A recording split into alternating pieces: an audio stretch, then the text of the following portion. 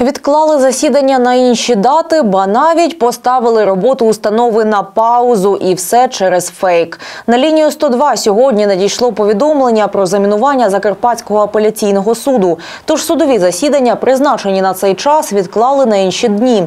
Про що й повідомили учасників. Та як виявилося, не виправдано, адже замінування в поліції не підтвердили.